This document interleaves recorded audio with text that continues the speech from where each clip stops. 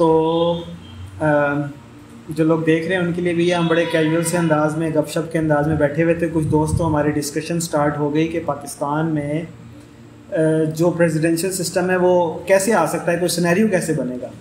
तो इनके साथ जो हमारी बात हुई है तो हमने सोचा है कि चलें आप सब के लिए भी उसको कर लें। बैठे हुए हम बड़े कैजुअल अंदाज में, अपने माइंड नहीं करना, ये मैंने तकिया रखा हुआ है। और बाकी जो दोस्त भाई हैं, वो अपना अपना काम कर रहे हैं, हम अपनी करेंगे गपशप। ठीक है जी। अच्छा तो मेरा कहना ये है और मेरा समझना गैस कह लें, या वो क्या कहते होते? विजदान। विजदान कह लें और कुछ गैस वर्क कह लें कि वो मेरे ख्याल में इतनी आसानी से पाकिस्तान में सिस्टम नहीं आएगा। अभी देखें, आपने बताया कि वो एक पार्टी है, वो ये कह रही है कि इस्लामिक पार्टी है, लेकिन वो ये कह रही है कि अगर प्रेसिडेंशियल सिस्टम की हम तरफ़ गए तो ये हमारा जो आइन है, ये मनसूख हो जाएगा। तो अब ये आइन मनसूख या ख़त्म हो जाएगा। तो अगर ये ख़त्म हो जाएगा तो इसके अंदर तो शिक्के हैं, ख़त्म नबूबत वाली शिक्के हैं, करारदाद मकासद है, और जो शुरू की शिक्के हैं कि हकमत आला का मालिक सिर्फ़ अल्लाह रबुल्ज़त की ज़ात है तो ये शिक्के भी ख़त्म हो जाएँगी। तो अगर तो जो सदारती निज़ाम है, वो किसी इंतहाई नेक नीयती के बगैर आया, थोड़ी सी भी उसके अंदर शॉर्ट कमिंग हुई तो हम तो इन शिकों से भी जाएँगे, इस कानून से भी जाएँगे, फिर तो वो सदर है, वो एक किस्म का बादशाह बन के बैठ जाएगा, जो मर्ज़ी करता फिर। और हमारी तो हिस्ट्री रही है, कभी अमेरिका के कहने पे कुछ कर रहे हैं, कभी रशिया की गोद में जाकर बैठ रहे हैं, कभी चाइना से पिंगे बढ़ा रहे हैं, कभी तेल लेने के लिए सोच, किसी और की बात मान रहे हैं। तो फिर इससे भी आप जाएँगे, और बात बिल्कुल ठीक है कंसर्न उनका बिल्कुल ठीक है। तो ये वो जो अपनी नज़र रख रहे हैं, उनको बिल्कुल रखनी चाहिए, बिल्कुल सही बात है। लेकिन मैं ये समझता हूँ कि ये इतनी आसानी से सिस्टम नहीं आएगा जैसे हम समझ रहे हालात नहीं नज़र आ रहे। हालात तो आपको लग ही नहीं रहा कि कोई कोई भी सोच रहा है, यानी अवाम भी उस हद तक तो नहीं सोच रहे, चलें, चंद लोग होंगे जो सोच रहे हैं इस्लामी निज़ाम आना चाहिए, बाईस चौबीस करोड़ अवाम है, वो सब ये सोच रहे हैं। कि पाकिस्तान में इस्लामी निज़ाम है, परवाह नहीं अपने अपनी चीज़ों में लगे हुए हैं, कामों में लगे हुए हैं। तो उसके लिए असल में स्नैरियो ऐसा बनेगा अल्लाह रहम करे, वो जो मैंने आपके सामने खुल के बातें किया पता नहीं, यहाँ पे ऑनलाइन करनी चाहिए या नहीं करनी चाहिए, लेकिन लगता ऐसे है कि इस कौम को बहुत मार पड़ेगी। इसको हम सब शामिल है इसमें। ये नहीं कि मैं दूसरों, अपने आप को उससे अलग कर रहा हूँ। क्योंकि देखें, अल्लाह ताला का उसूल रहा है जब आप अमन आरदान ज़िक्री फ़िन लहू मीशतन जन का। अल्लाह ताला जब आप अल्लाह ताला के ज़िक्र से, अल्लाह ताला के हुक्म से, अल्लाह ताला के निज़ाम से मुँह मोड़ते हैं तो सबसे पहले अल्लाह ताला इकॉनमी का जो है ना, गला घोंट के रखते हैं। और बाज़ात अल्लाह ताला इस कदर ढील दे देता है कि वो ढील में गफलत में इंसान पड़ जाता है तो फिर जब अल्लाह ताला ढील दे दे ना, फिर अल्लाह ताला उस कौम को बदल देता है, उसकी जगह और कौम आती है। क्या हुआ, अब्बासी? हम ही में से थे ना?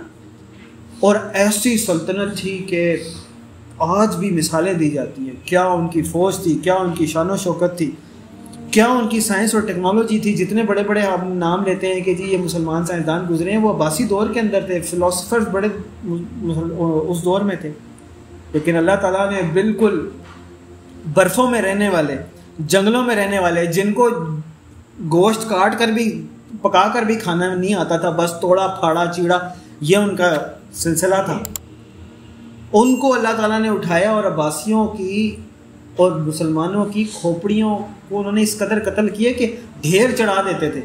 अपनी तरफ़ से वो ढेर चढ़ाते थे और आज हम उन्हें कहते हैं कि खोपड़ियों का मीनार बना दिए इस कदर वो बुलंद होते थे। इस कदर उन्होंने मारा। और फिर अब्बासी दोबारा नहीं उठे। ख़त्म हो गए। फिर वो दूसरे, तीसरे ममलूक और पता नहीं कौन कौन वो आते रहे थोड़ी थोड़ी देर के लिए, थोड़ी थोड़ी सल्तनतें रही, लेकिन जो मुसलमानों की शान थी, वो उनमें से किसी को भी नहीं मिली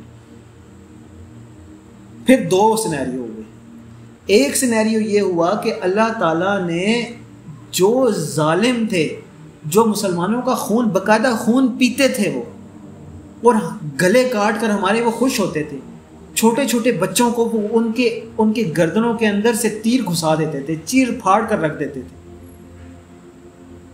यहाँ तक भी नहीं, बल्कि मुसलमानों की बाइज्जत, औरतों की इज़्ज़त दरी करते थे, उनका रेप करते थे।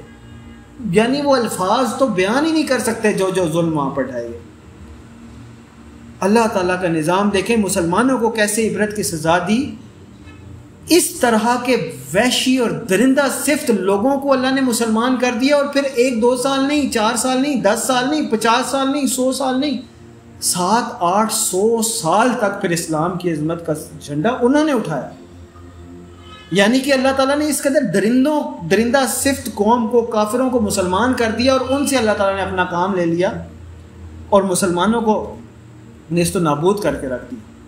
अल्लाह तो मोहताज नहीं है ना? एक काम ये हुआ दूसरा काम ये हुआ कि जो ये समझ रहे थे कि हमारे पास ताकत है, हमारे पास दौलत है, हमारे पास सब कुछ है, अल्लाह ताला ने उनको हटा दिया और उनकी जगह वो खाना बदोश जो हैं, बिल्कुल जिनके पास खाने को भी नहीं होता था, अल्लाह ताला ने उनको उठाकर दूसरे तरफ़ सात आठ सौ साल तक उनको सल्तनत अता फरमाई, जो उस्मानी सल्तनत अजान हो गई है बाद में बाकी बात अच्छा जी, बाद में ये कर रहा था कि हालात अब ऐसे नज़र आ रहे हैं कि जिस तरह वहाँ पे ये सिनेरियो, दो सिनेरियो बने एक तरफ़ अल्लाह ताला ने उन लोगों को बिल्कुल हटा दिया, जो उस वक्त साहिब इकतदार थे, लेकिन उस इकतदार का हक अदा नहीं कर रहे थे।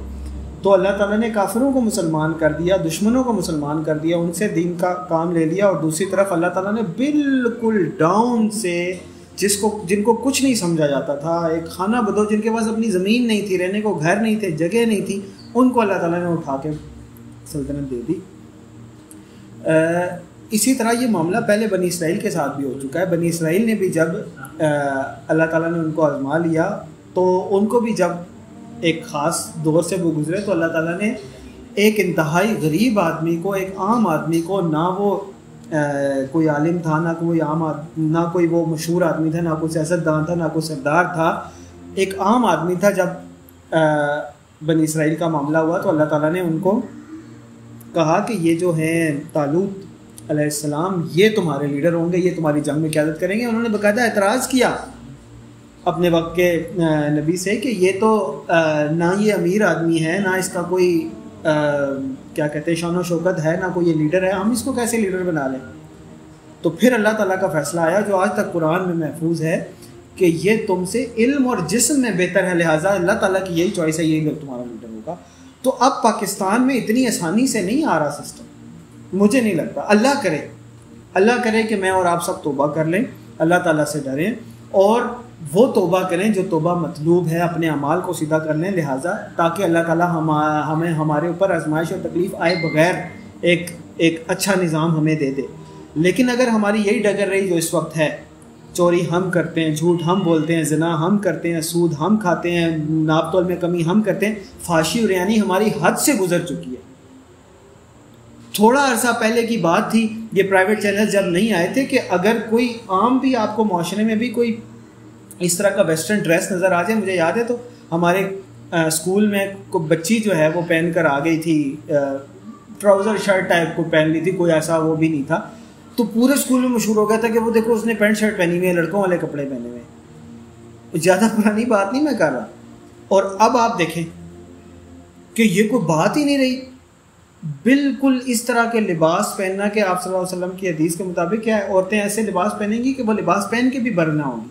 पहले वो बारीक लिबास का कुछ जहालत होती थी, लोगों को पता नहीं होता था बारीक लिबास पहन लेती थी औरतें। तो अब तो बिल्कुल जानबूझ के इंतहाई चुस्त लिबास पहनना कि जिसको पहना ना पहना बराबर है, जो अंडर गारमेंट्स हम मर्दों को पहनते हुए शर्म आ जाती है, वो हम औरतें पहन रही हैं। और आपका ये टिकटॉक देख लें सोशल मीडिया देख लें आपका ये मेन स्ट्रीम टीवी देख लें क्या क्या इसके ऊपर फहाशी के सूरतें बनाई गई हैं और मर्दों को देखें, वो अलग तरीके से फाशी फैला रहे हैं। हर गुनाह हम करें अगर यही डगर हमारी नहीं ना तो फिर अल्लाह माफ़ करे कि हमारा हाल वही होना है कि जो इस वक्त, जो अल्लाह ना करे। खाकम बदहन जो अब्बासी दौर में हम देख चुके मुसलमानों के खोपड़ियों के मीनार बनाए गए। उनकी लाइब्रेरियाँ उनका जो सो जो भी अल्लाह ताला ने उस वक्त उन्हें तरक्की दी थी सब पानी में बाहर किया गया। ख़त्म करके रख दिया अल्लाह ताला तो फिर वो जो वाली बात है ना कि ये तो किस तरह ये सियासी पार्टियाँ इकट्ठी हो जाएँगी किस तरह सदारती निज़ाम आ जाएगा भाई अल्लाह ना करे जो मुझे नज़र आ रहा है वो तो फिर मांगेंगे जैसे मर, मरते वक्त जो है ना प्यासा पानी माँगता है कि पानी पानी पानी एक कतरा पानी का मिल जाए मुझे अल्लाह ना करे वो सूरत हाल हो जाए।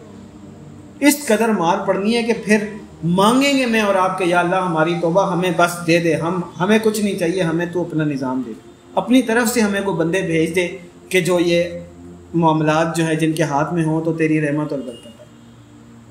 अल्लाह ना करे, अल्लाह ना करे उस, अल्लाह करे मैं और आप उससे पहले तोबा करें वह तकोफ़ितना तल्ला तसीबन खासा। और अगर वो आ गई आफत तो फिर वो ये नहीं देखती कि वो नेक है या बद है आदमी।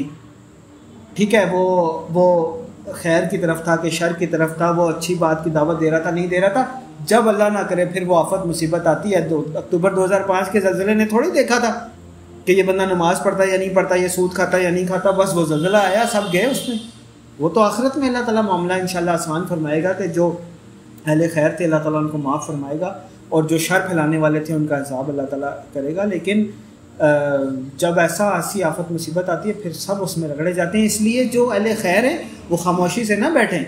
शोर मचाएँ, बताएँ लोगों को, दावत दें खैर की तरफ़। कि भाई, आए, मैं और आप सब फाशी से तोबा कर लें, मैं और आप सब सूद से तोबा कर लें, मैं और आप सब एक दूसरे का हक ना खाएँ, अपने बहनों के हिस्से दें, अपने भाइयों का हक ना मारें। और शिरक जो एक बहुत बड़ा शिरक हम कर रहे हैं, अपने इन सियासी लीडरों को पूछ रहे हैं, जो नारा मारता है, उसके पीछे भाग पड़ते हैं नौजुबिल्ला उसकी पूजा शुरू कर देते हैं। वो सही कह रहा है, गलत कह रहा है, बस उसके पीछे भाग रहे हैं। नौजुबिल्ला सजदा ही है ना एक किस्म का। वो कह रहा है कि मैं आपको रोटी कपड़ा मकान दिलाऊँगा, मैं अपना सिस्टम दुरुस्त करूँगा, मैं आखिरी ऑप्शन हूँ और आप भी उसको मान रहे हैं, उसके नारे लगा रहे हैं। कौन बचाएगा पाकिस्तान? और आगे अपने अपने लीडर का नाम ले लेते हैं। हर तरह की बुराई हमारे अंदर है, अल्लाह ताला हम सबको महफूज रखे। तो मार पड़नी है, फिर ये निज़ाम आना है। फिर यानी कि फिर लोग, फिर अभी तो किसी को अल्लाह याद नहीं आ रहा अभी अगर किसी से बात भी करें तो वो कहेंगे, नहीं नहीं नहीं, आप रिलीजियस परस्पेक्टिव को तो बीच में से निकाल देना। अब फिर आपको सबको नज़र आएगा रिलीजियस परस्पेक्टिव ये सारा दुनिया का निज़ाम चला ही अल्लाह रहा है, कोई भी रिलीजियस परस्पेक्टिव नहीं है। एक फैक्ट है और वो फैक्ट ये है कि इस दुनिया और कायनात का मालिक अल्लाह है। जो वो चाहता है वो होता है, जो वो नहीं चाहता वो नहीं हो सकता। फिर आप सब मानेंगे, आप सब नहीं, हम सब कहना चाहिए। हम सब फिर मानेंगे कि अल्लाह की रज़ा के बगैर कुछ नहीं हो सकता। फिर हम सबको अल्लाह की रज़ा नज़र आएगी। अल्लाह ताला की तरफ़ हम देखेंगे और फिर अल्लाह से उम्मीद लगाएँगे, फिर फिर वो हमें सिस्टम अता करेगा। जैसे बनी इसराइल भी बड़े साइंटिफिक बने हुए थे, फिर आखिरकार उन्हें अल्लाह ताला की तरफ़ रुजू करना पड़ा कि अल्लाह ताला, तू हमारी लिए कोई लीडर मुकर फरमा दे। और फिर अल्लाह ताला ने उन्हें अदा किया और फिर उन्हें फतह भी